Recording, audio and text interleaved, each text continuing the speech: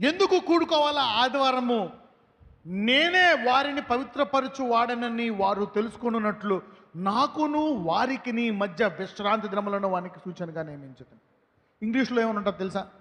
చూపిస్తా చూడండి.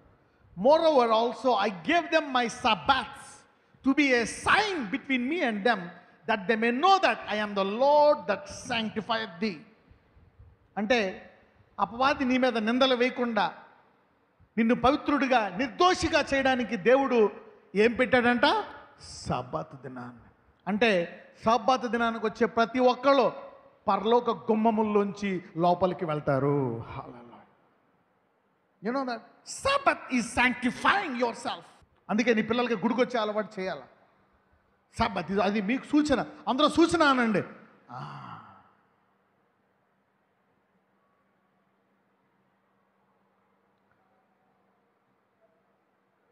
బయటికి రావాలా? Come home to the church చాలామంది రారు. తెలిసిపోతుందేమో ఏమైపోతుందో నో నో దినాన్న నూట ఇరవై రోజులు ప్రార్థించిన తర్వాత శిష్యులందరూ అక్కడే కూర్చున్నారా? అందరూ వెళ్ళి స్వార్థ ప్రకటించారా?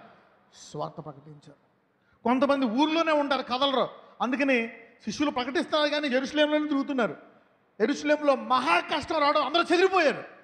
అలా చెదిరిపోయి పారిపోయిన నోళ్ళలో ఒకళ్ళకి వచ్చారు. ఎవరో తెలుసా? తోమా. లేకపోతే మనకు స్వార్థ వచ్చేది కాదు. అక్కడే తోమ కూర్చొని నాయన నాకు భయం అనుమానం. నువ్వే వెళ్ళు నాయన. నీకే ధైర్యం. నువ్వే పరాక్రమశాలి. రాజులకు రాజు. నువ్వే వెళ్ళు అంటే దేవుడు ఆహా అలాగా ఓడు అని చెప్పి పొడిచేస్తాను నరికేస్తాను గవ్వ వాడికి పారిపోయి ఇక్కడికి. యు సీ దాట్ నా so you know moving in the spirit is the key వాగ్దానము అనండి. అప్పుడప్పుడు వాగ్దానాన్ని పట్టుకొని క్లెయిమ్ చేయాలి గట్టిగా అడగాల మనము. ఆ వాగ్దానం మనం నిలవరాలని కోరుకోవాలి. ఇక్కడ చూస్తే సపాత్ దినాన్ని మనము ఆచరించడము ఎందుకంటే ఆయన మనల్ని పవిత్రపరుస్తాడంట. ఇట్స్ ఎ సైన్ ఇంకోటి చూద్దాం. ఏజ్కేల్ ఇరవై ఇరవై. నేను మీ దేవుడైన యెహోవానని మీరు తెలుసుకొనున్నట్లు ఆ విశ్రాంతి దినములు నాకును మీకును మధ్యను సూచనగా ఉండును. అంటే ఏంటి? నీకు అసాధ్యమైనవి నేను చెయ్యాలి. నేను నీ దేవుడిని అని నువ్వు తెలుసుకోవాలంటే నా సబ్బాత్ దినాన్ని ఆచరించాలంట. ఈ రోజుల్లో సబ్బాత్ దినం అంటే గుడ నాలుగు గోడల కాదు. ఇద్దరు ముగ్గురు ఎక్కడ కూడుకొని ఆరాధిస్తారో అదే సబ్బాత్ దినము హాలలోయ సూచన అంట ఎవరైతే సాబాత్ దినాన్ని ఆచరిస్తారో అద్భుత రీతిగా వారి జీవితాల్లో వాగ్దానాలు నెరవేరుతాయి. హల్లెలూయా. రావాలా బయటికి? ఇతరులకు చెప్పాలా? ప్రార్థన చేయి ఈ విషయం ఈ వాగ్దానం నెరవేరాలా? ఇది నెరవేర గట్టిగా పట్టుకోవాలా? హోల్డ్ ఆన్ ఇది నెరవేరుతుంది. యూ నీడ్ టు క్లైమ్ ఎవరి జీవితాల్లో అయితే వాగ్దానం ఇప్పటిదాకా ఆలస్యం అవుతుందో అది ఈ రోజు నుంచి చాలా స్పీడ్గా నెరవేరును గాక ఒక్కొక్కసారి అంటే ఆశీర్వాదాలు నేను అధికమిచ్చేస్తాయంట. అందుకే అంటాడు అలసిపోక ఇంకా దప్పికొను ఉండు టైర్డ్ ఎప్పుడు అలసిపోకూడదంట వాగ్దానాన్ని చూసి. ఆ వాగ్దానాన్ని పట్టుకున్నప్పుడు అది నెరవేరుతుందంట. It will come to pass it will come to pass so ఏ క్రైస్తవుడు కూడా సామాన్యంగా ఉండడానికి వీలు లేదు. దర్ ఈజ్ అ పవర్ అంటే నీకు ఇంకా కొన్ని సిబ్బందులు ఉన్నాయంటే వాగ్దానాన్ని వాడుకోవడం నీకు తెలియాలి? మీరు నిమ్మళముగా ఉండుట దేవునికి ఇష్టమా? అన్యజనులు నిమ్మగలంగా ఉండటం దేవునికి ఇష్టమా? సంఘము నిమ్మలంగా ఉండడం దేవునికి ఇష్టమా? సంఘములో జరిగే అద్భుతాలు చూసి అన్యజనులు ఏం చేయాలా? పరిగెత్తుకుంటూ రావాలంట. అందుకని దేవుడు గుర్రాలను పంపిస్తున్నాడు దూతలను పంపిస్తున్నాడు.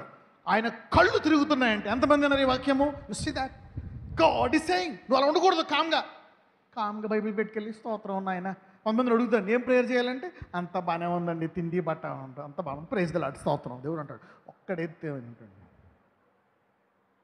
God is not like that అన్ని జనులు చూసి ఎప్పుడు స్థుతిస్తూ ఉండాలంట ఈ దేవుణ్ణి. ఆయన నీ జీవితంలో చేసే అద్భుతాల నుంచి. Hallelujah you see that this is what God wants అందులో సామర్థ్యం అనండి. సామర్థ్యం ఇవ్వడానికి సిద్ధంగా ఉన్నాడు ఆయన. హీ వాంట్ గివ్ హిమ్ వాగ్దానము అనండి. వాగ్దానము. When you hold on to a promise it is possible and it will happen వాగ్దానం పట్ల ఈ రోజు దేవుడు మీ విశ్వాసాన్ని పెంచునుగాక ఎయిడ్సా క్యాన్సరా హార్ట్ ప్రాబ్లమ్మా అప్పులు పాల? కష్టాల? వర్డ్ వాక్యము అనండి. యా పక్కన వాగ్దానమైన దేవుడైనా ఒకటే అనండి. In the beginning was the Word, and the Word was God. Man, I adopted this lifestyle and it is working for me. It is working for me.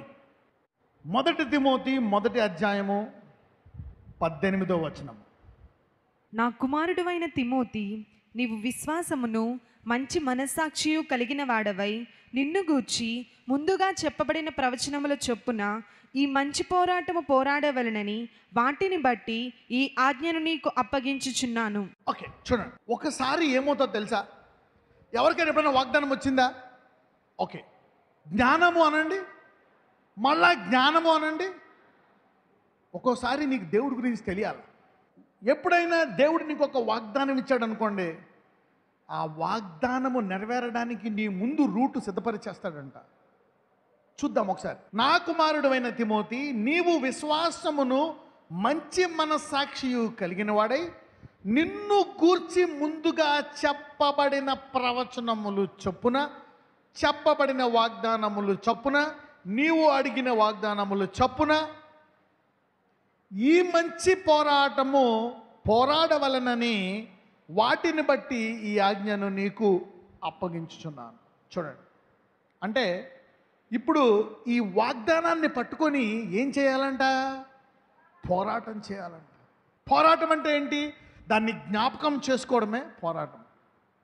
ఆ వాగ్దానాన్ని మళ్ళా జ్ఞాపకం చేసుకోవడమే పోరాటం. వాట్ ఈజ్ ఎ బ్యాటిల్ ఎక్కడ జరుగుతుంది పోరాటము? మనస్సులో.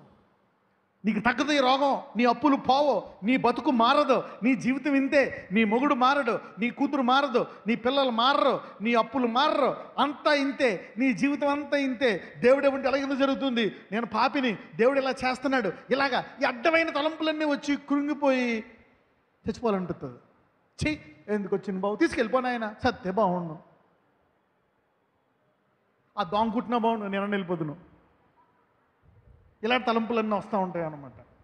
ఈ పోరాటాన్ని జయించాలంటే దీన్ని జ్ఞాపకం చేసుకొని వాగ్దానం చేసిన వాడు నమ్మదగిన వాడు. ఇది నాకు సాధ్యము అని ఎప్పుడైతే మనసులో అనుకుంటావో అదే పోరాటం.